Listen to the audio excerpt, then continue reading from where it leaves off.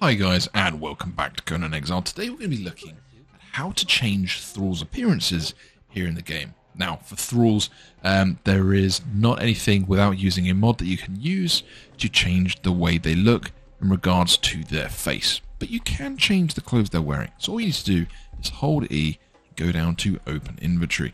Once you're in here, you can see they have the clothes down here. I'm going to change the clothes he has right here.